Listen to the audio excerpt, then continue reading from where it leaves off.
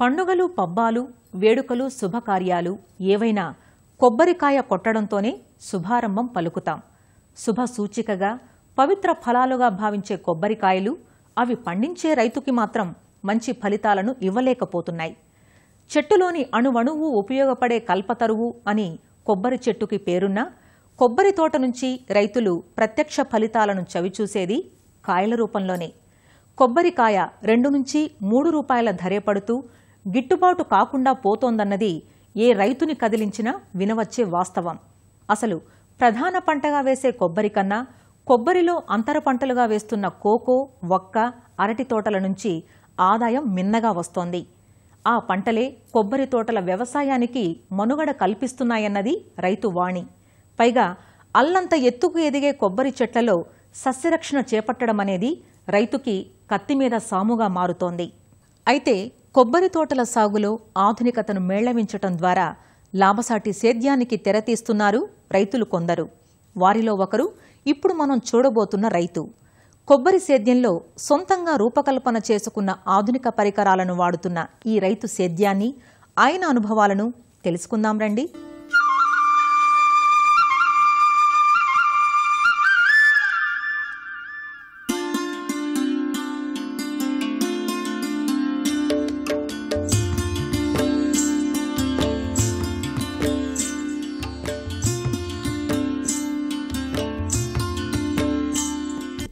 ఆకాశాన్ని ముద్దాడుతున్నట్లుగా ఉన్న నిలువెత్తు కొబ్బరి చెట్లు.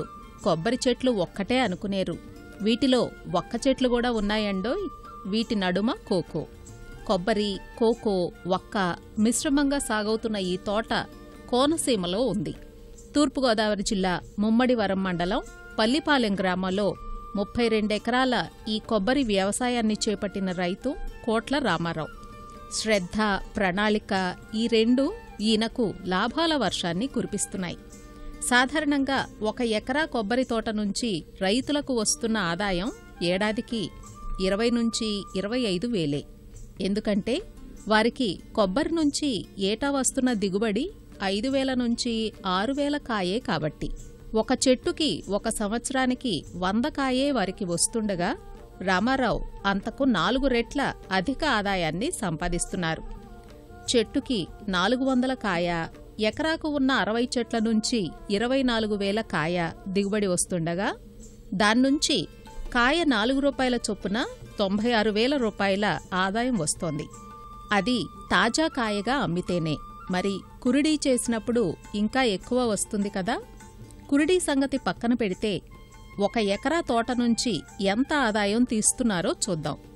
ఒక ఎకరాలో అరవై కొబ్బరి నలభై కోకో మూడు వందలు ఒక్క మొక్కలు వేశారు.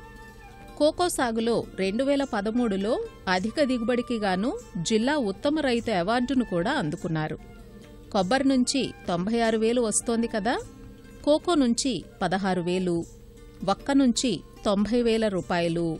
మొత్తం ఒక ఎకరా తోటలో ఉన్న ఈ మూడు పంటల నుంచి రెండు లక్షల రెండు వేల రూపాయల ఆదాయం దానిలో ఒక నలభై వేలు ఖర్చు పోను లక్ష అరవై రెండు వేల నికర లాభం వస్తోంది.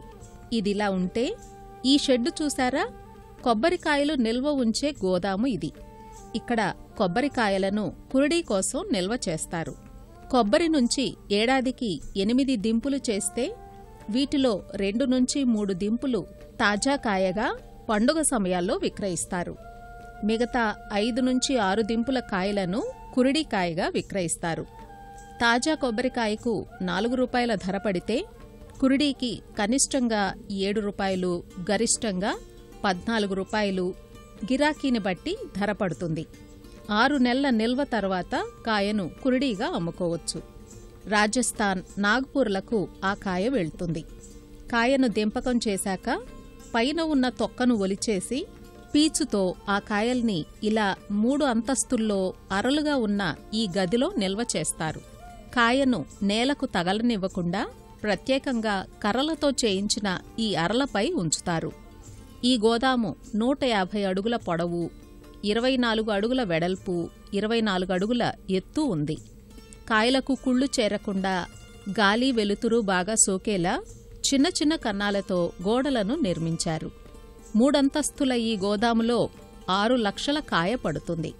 నిల్వ చేసిన సమయంలో కాయలో ఉన్న నీరంతా ఇంకిపోయి లోన ఉన్న కొబ్బరి ఒక బంతిలా తయారవుతుంది. అదే కురిడి. చేత్తో ఊపితే శబ్దం వస్తుంది. తోటల్లో అధిక దిగుబడి కోసం అలానే శ్రామిక శక్తిని తగ్గించి ఖర్చులు తగ్గించుకోవడం కోసం ఆధునిక విధానాలను అవలంబిస్తున్నారు రామారావు.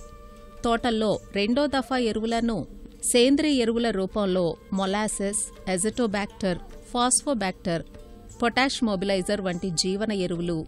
ట్రైకోడెర్మా విరిడి జీవ శిలీంద్రం కలిపి ఒక్కో చెట్టుకు ఆ మిశ్రమాన్ని ఇరవై ఐదు కిలోల చొప్పున అందించడం.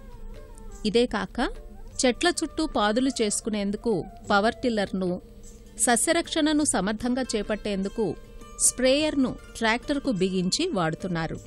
ఈ స్ప్రేయర్తో అరవై అడుగుల ఎత్తుకు ఎదిగే వక్కకైనా నలభై అడుగుల ఎత్తు పెరిగే కొబ్బరికైనా పిచికారిని సునాయాసంగా చేపట్టవచ్చంటారు. చెట్ల పాదులను మనుషులతో చేయించాలంటే ఒక రోజుకి ఇద్దరు మనుషులతో ఎకరం ఇరవై సెంట్లు మాత్రమే అవుతుంది. అదే పవర్ టిల్లర్తో రోజుకి తొమ్మిది ఎకరాలు పూర్తవుతుందంటూ మరిన్ని వివరాలను తెలియచేస్తున్నారు రామారావు.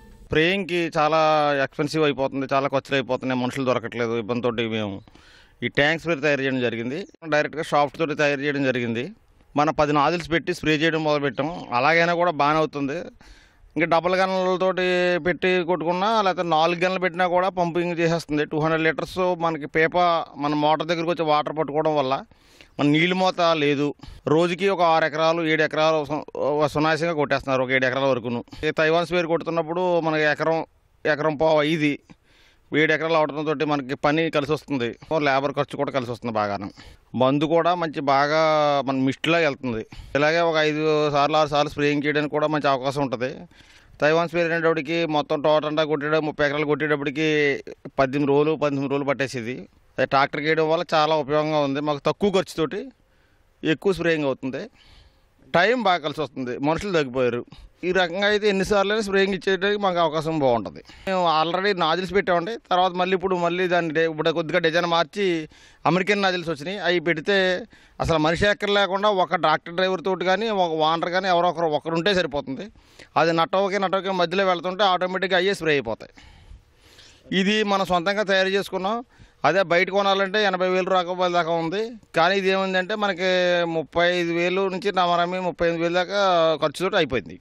ఇప్పుడు ఒక్కొక్క సంవత్సరానికి ఒక ఆరు స్పీర్ల దాకా కొట్టుదామని అనుకుంటున్నాం దీంతో తర్వాత కొబ్బరికి చేసుకోవచ్చు మామిడి చెట్లకి చేసుకోవచ్చు పోక చెట్లకి చేసుకోవచ్చు.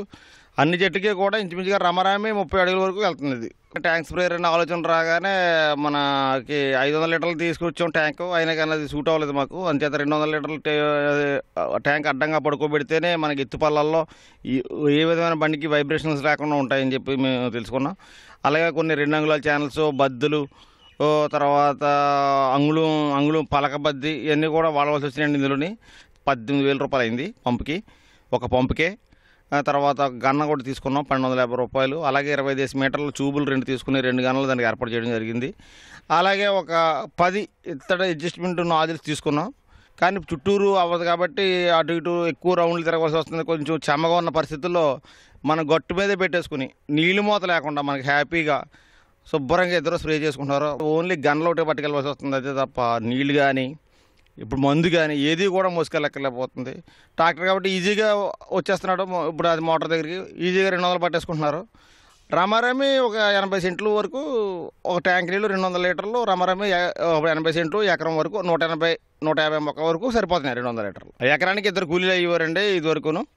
ఇప్పుడు ఏడు ఎకరాలకి ఇద్దరు కూలీలు అవుతున్నారు. అదండి. మరిన్ని వివరాల కోసం రైతు రామారావును తొమ్మిది నాలుగు నాలుగు సున్నా ఒకటి ఏడు ఆరు మూడు సున్నా ఏడు ఫోన్ నెంబర్లో సంప్రదించవచ్చు.